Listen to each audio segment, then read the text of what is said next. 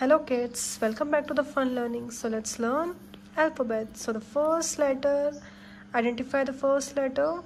It's F. F for fish and F for frog. The next letter is letter V. V for van and V for vanity.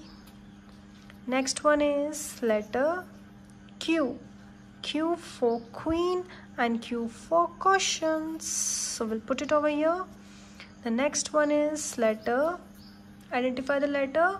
It's D. D for dog and D for drum. The next one is letter A. A for apple and A for airplane.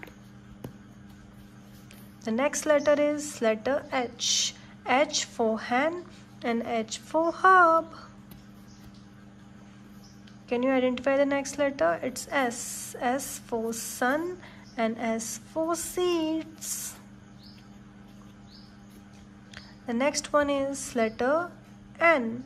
N for nose and N for noise. N for nose and N for noise. Like, share and subscribe for number learnings and alphabet learnings. Like the video and share to your friend.